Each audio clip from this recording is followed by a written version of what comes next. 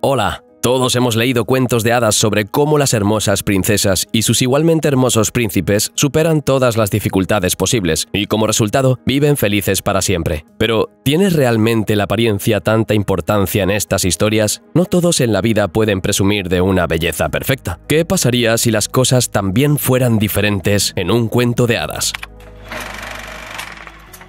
La paz de un reino mágico ubicado en una isla está protegida por siete valientes héroes con Merlín a la cabeza.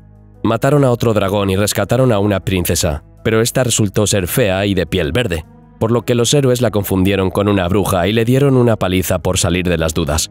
Por este error, la princesa Hada castigó a los guapos hombres con una maldición.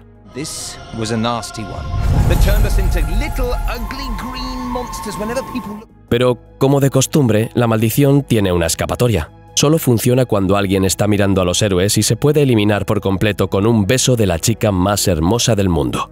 La malvada reina Regina llega a un árbol mágico que tiene un par de manzanas rojas maduras en él. Cuando los primeros rayos de sol caen sobre ellas, las manzanas se convierten en zapatos rojos de tacón alto. La bruja los arranca con entusiasmo y se los prueba.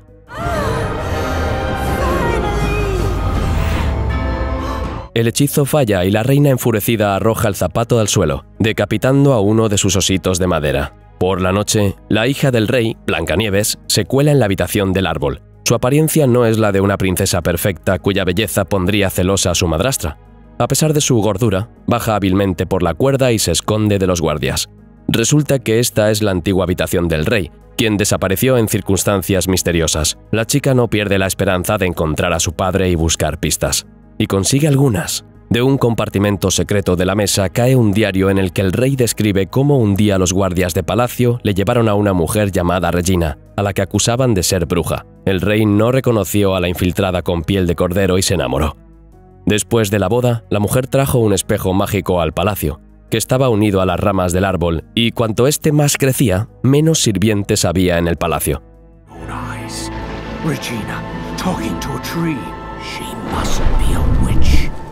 Y aunque el rey había descubierto sus malvados planes, ya era demasiado tarde. Justo antes de desaparecer sin dejar rastro, solo tuvo tiempo de esconder a Blancanieves en una habitación secreta y decirle que buscara la ayuda de los siete héroes. Mientras la princesa leía el diario de su padre, llegó el amanecer y en sus rayos la chica notó manzanas rojas brillantes. La bruja llega solo un minuto tarde. En lugar de las preciadas manzanas, encuentra en la habitación a una belleza de cuento de hadas con una figura y rasgos faciales perfectos. La ladrona se ha puesto los zapatos. La madrastra desata su ira sobre la chica, a quien aún no reconoce como su hijastra. Pero Blancanieves es más rápida y sale volando por la ventana en una escoba mágica que le quitó a los sirvientes de la bruja. En este momento, los siete héroes caminan malhumorados hacia sus hogares. Su fuerza y belleza se han ido. ¿Qué pasará con sus carreras ahora? Están pensando en cómo pueden encontrar la belleza para romper el hechizo, cuando, de repente, la chica, que tiene problemas para manejar la escoba, vuela sobre sus cabezas gritando. Mientras tanto, la reina se vuelve hacia el espejo mágico en la pared. ¿Quién es la más bella de todas?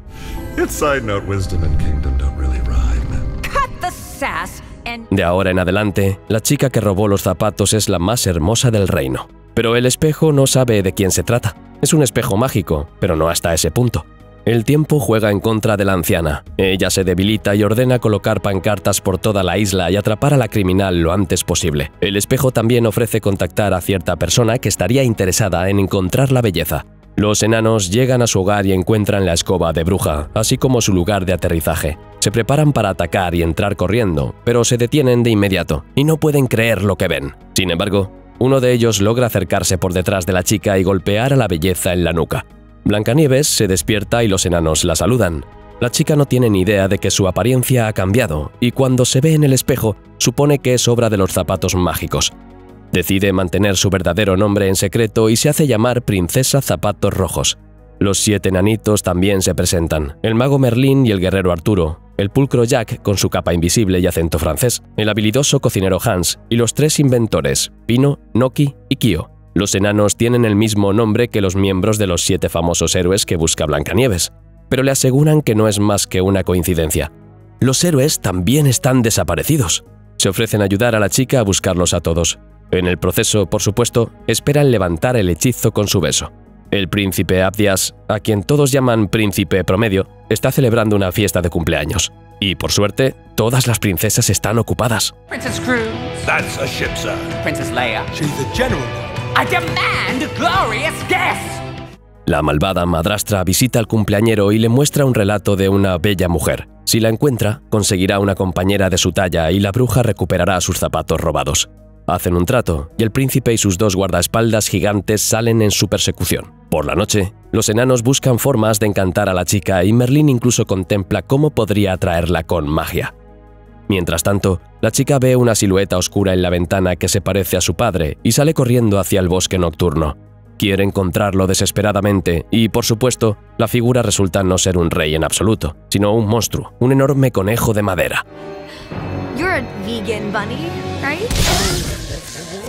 Merlín aparece justo a tiempo. La pareja huye del monstruo y mientras la chica mira hacia otro lado, el mago recupera su fuerza y apariencia anteriores. Lo mismo le sucede a Arturo, quien, sin embargo, se ve privado de sus fuerzas por la mirada de Blancanieves justo en medio de un ataque. Finge estar herido para recibir el beso que anhela, pero sus amigos parecen revelar su coartada. De camino a casa, Arturo no se da por vencido en su intento, pero solo recibe una bofetada en el rostro. Los enanos se dan cuenta de que necesitan un plan. De lo contrario, solo se estorbarán unos a otros. Al menos uno de ellos debe romper el hechizo. Para continuar su búsqueda del rey, deciden separarse. Arturo va con Blancanieves y Merlín se queda en casa para proteger al conejo gigante que atraparon anoche. Arturo le muestra a Blancanieves la espada Excalibur, que está atrapada en la piedra. Mientras el chico alardea, la chica saca el arma con facilidad, pues sus pensamientos son puros y desinteresados. Arturo se sorprende y Blancanieves, avergonzada, se apresura a devolver la espada. Arturo intenta repetir su truco, pero todo es en vano. En este punto, el enano gruñón deja de intentar seducir a la chica y parten hacia la ciudad en busca del rey. Merlín, por otro lado, rompe el acuerdo y parte al encuentro de la aventura a lomos del conejo. Blancanieves y Arturo llegan a la ciudad. La chica recibe una atención extraordinaria de los hombres. Todos quieren complacerla, pues su retrato está colgado por toda la ciudad. Todo gracias a los guardaespaldas del príncipe, quienes notan a la chica y la persiguen. Pero ella se quita los zapatos a tiempo y escapa del peligro. Merlín llega a la ciudad sobre un conejo, lo que hace que Arturo se sienta muy infeliz. Mientras resuelven las cosas, los guardias de la ciudad comienzan a burlarse de Blancanieves, quien ha perdido su belleza y le quitan uno de sus zapatos. La princesa pide ayuda, pero los enanos no la reconocen y pasan de largo. Blancanieves está rodeada cuando Merlín regresa y noquea al resto de los guardias. Todavía no reconoce a la chica y la ayuda sinceramente, sin esperar un beso mágico a cambio. Blancanieves se calza y ensilla al conejo para huir de la persecución con sus amigos. La princesa revela que la están buscando por sus zapatos mágicos, pero no menciona el hecho de que los robó. Sin embargo, ¿cómo será capaz de encontrar a su padre cuando ella misma debe esconderse? Merlín muestra su ingenio corriendo por el campo, haciendo una gran señal para deleite de la chica. El trabajo creativo del gnomo es descubierto rápidamente por los guardaespaldas del príncipe y las tres liebres de madera de la reina malvada, todos dirigiéndose al castillo justo detrás de nuestros héroes. Merlín y Arturo discuten de nuevo sobre quién merece más a la chica. Hans muestra su talento como cocinero y Jack le regala un anillo de diamantes a la princesa, cuando, de repente, son emboscados por el príncipe promedio y su ejército. Arturo y Merlín son hechos prisioneros rápidamente y el príncipe ordena a los otros enanos que se rindan y entreguen a la hermosa chica. Blancanieves sale del castillo, literalmente derribando a los soldados con su belleza. El príncipe promedio libera a los enanos, pero Blancanieves rechaza su oferta de convertirse en su compañera. Pero él sigue insistiendo. I couldn't agree more. Subjects these days. Now, shall we? Los siete héroes, a excepción de los tres inventores, se unen a la batalla. El mago y el guerrero trabajan bien como equipo y contraatacan con éxito variable.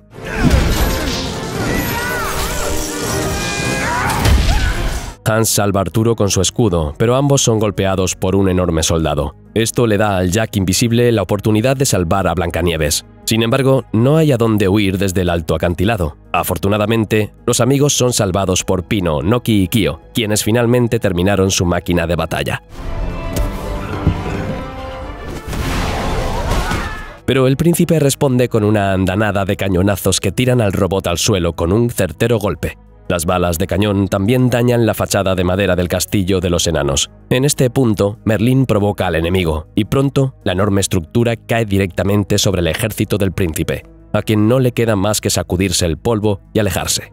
Por la noche, Merlín y Blancanieves están solos en el granero. La chica se da cuenta de que el chico está demasiado obsesionado con la apariencia, mientras que a ella no le importa en absoluto. De hecho, a la princesa le gusta pasar tiempo con el pequeño enano verde. Sin embargo, Merlín hace todo lo que puede para conseguir un beso. La chica decide revelar su verdadera apariencia al protagonista, pero por alguna razón no puede quitarse los zapatos a pesar de todos sus esfuerzos. El príncipe ha fallado en la misión y recibe la visita de la reina enojada. Ella amenaza al desafortunado hombre y lo deja con manzanas que convierten al príncipe promedio y a sus guardaespaldas en enormes monstruos de madera. Los enanos, mientras tanto, están ocupados reconstruyendo la casa y los pequeños inventores le muestran a la chica una fotocopiadora que duplica folletos con la cara de su padre. Pero para distribuirlos deben dejarse caer desde una altura. Al recuperar una escoba atrapada en un árbol, Merlín encuentra una solución. Los personajes están tan absortos en su vuelo y sus sueños que chocan accidentalmente contra un árbol. Se encuentran solos de nuevo y Blancanieves intenta insinuar que no será tan bonita sin sus zapatos. Merlín responde que sabe lo que significa lucir diferente de cómo te sientes. Esta frase le da a la pareja una falsa sensación de entendimiento mutuo. No tienen ni idea de que están hablando de circunstancias absolutamente opuestas. Blancanieves le pide al mago papel de brujería, lo dobla y deja una marca con un beso rojo en él. Esto es seguido por el primer beso verdadero. Merlín está encantado. What do you think? El enano está sorprendido. Después de todo, se han cumplido todas las condiciones. Tal vez el beso debe durar más. De pronto, un monstruo de madera descubre a la pareja. Los héroes huyen y se deslizan por la grieta de un cañón, pero incluso allí se encuentran rodeados. Afortunadamente, los perseguidores son torpes y los hechizos del mago los derriban fácilmente. Entonces, los monstruos comienzan a tirar piedras. El enano y la princesa están a un paso de la muerte, cuando Merlín le pide a la chica que se aleje para que su poder regrese a él. Se queda frente a frente con el príncipe promedio de madera y explota el puente terrestre de piedra. El villano cae al agua, pero logra sujetar al mago y arrastrarlo hasta el fondo. Blancanieves se sumerge en busca de su amado. Está atrapado por una piedra pesada. Ahora sus zapatos salen fácilmente y logra liberar al chico a costa de su transformación. Ella arrastra a Merlín a la orilla, donde ya los están esperando una enorme liebre y los cachorros de la reina. A través de su mirada, el espejo y la madrastra descubren quién se ha escondido detrás de la magia de los zapatos durante todo este tiempo. La bruja se dispone a vengarse. Por la noche, junto al fuego, Merlín ve a Blancanieves finalmente sin hechizos. Ella dice toda la verdad. El chico pregunta por qué la princesa simplemente no devolvió los zapatos. If I'd given up their magic, you wouldn't have helped me find my father, would you? Would you? Si no fuera tan hermosa, todos la tratarían diferente. Y sus dudas no son infundadas. Cuando la chica mira hacia otro lado, Merlín se marcha. Blancanieves se vuelve a poner los zapatos, porque nadie la necesita sin ellos. La princesa está triste y recuerda la chispa que solía haber entre ella y el chico. Merlín también está enfadado. Recuerda que Blancanieves quería quitarse los zapatos mucho antes en el granero y le queda claro que la chica se enamoró de él en el momento en que estaba convencido de su absoluta falta de atractivo. Merlín finalmente regresa, le pide a Blancanieves que se quite los zapatos y, por alguna razón, le ofrece a la chica una manzana roja. Este es otro truco de Regina. El verdadero Merlín, que en realidad cambió de opinión y regresó, lo revela. La bruja sujeta rápidamente a Blancanieves y los teletransporta a ambos al castillo. El chico corre detrás del secuestrador en la liebre y los cachorros de madera parten para pedir ayuda a los demás. Los héroes están armados hasta los dientes y con muchas ganas de pelear, pero Arturo los detiene, pues todavía está luchando con su espada. Oh, zut alors, please end this.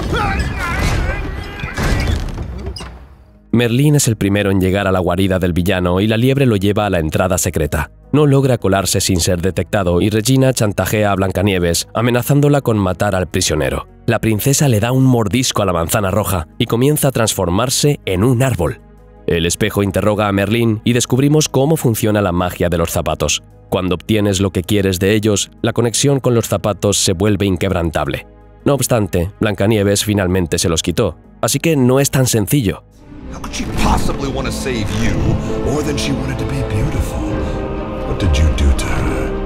Los villanos no entienden la magia del amor, lo único que ven es manipulación y engaño. Merlín también descubre por el espejo que una vez que la campana suena tres veces, el manzano blanco como la nieve dará frutos, se marchitará y finalmente morirá. El chico logra usar un hechizo y liberarse. El héroe intenta llegar al pasillo donde está atrapada Blancanieves, pero no puede hacerlo solo. Sus amigos se unen a él justo a tiempo. Arturo sostiene finalmente a Excalibur y los enanos luchan valientemente hombro con hombro contra las plantas malvadas, abriéndose camino hacia la princesa. Merlín logra atrapar a la reina en el último momento justo cuando la campana suena por tercera vez y decide sacrificarse. Arrastra a la bruja al abismo, donde usa todos sus hechizos a la vez. Hay una explosión, y los encantos de la reina caen de inmediato. Por supuesto, la liebre de madera era el rey desaparecido todo este tiempo, y los cachorros eran niños. Blancanieves también se ha desencantado y está abrazando a su amado padre. Pero, ¿y Merlín? ¿Está realmente muerto? La chica derrama amargas lágrimas sobre el abismo sin fondo, pero Pino, Noki y Kyo encuentran y recuperan a su amigo herido. En la mano de Merlín está el papel con el beso de Blancanieves. La princesa le confiesa su amor y besa al chico, quien cobra vida con la forma de un príncipe. Le preocupa que después de convertirse en humano ya no le agrade la chica, pero esto no sucede, y ahora le toca al resto del equipo buscar sus hermosas princesas.